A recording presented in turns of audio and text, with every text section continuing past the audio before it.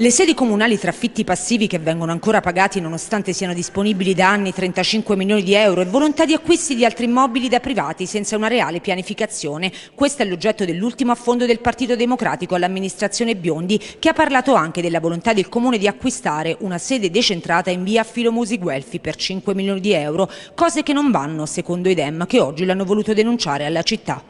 Partito Democratico già da tempo ha posto al Comune, al Sindaco, il tema di un efficientamento delle sedi e di una razionalizzazione degli uffici anche allo scopo di recuperare risorse per altri eh, bisogni della città. E nel 2012, grazie a un grande lavoro dell'amministrazione Cialente, il CIPE assegnò ben 35 milioni per avere una sede unica eh, per gli uffici comunali. Bene, sono trascorsi numerosi anni, sono state fatte dalla precedente amministrazione una serie di ipotesi e di verifiche. Questa amministrazione ha deciso di cancellare l'ipotesi della sede unica, di mantenere tutti i fitti passivi, perché noi dal 2017 spendiamo un milione di euro l'anno per i fitti passivi che si potevano azzerare con la sede unica, ma clamoroso, veramente clamoroso, il fatto che si stia acquistando con ben 5 milioni di euro un bene privato,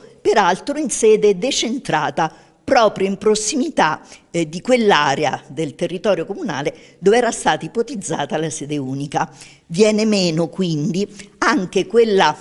eh, diciamo butad eh, che c'era però stata detta in atti ufficiali di una sede diffusa nel centro storico, quindi tradito l'obiettivo di efficientare ehm, gli uffici con un grande beneficio anche per i dipendenti e per tutta la città, tradito un recupero del centro storico, perché gli uffici nel centro storico, quei pochi che ci sono, sono davvero irrisori dal punto di vista della risposta al pubblico, e tradito lo scopo di eh, non sprecare le risorse pubbliche, perché si stanno sprecando risorse pubbliche a beneficio di privati e a scapito dei cittadini aquilani.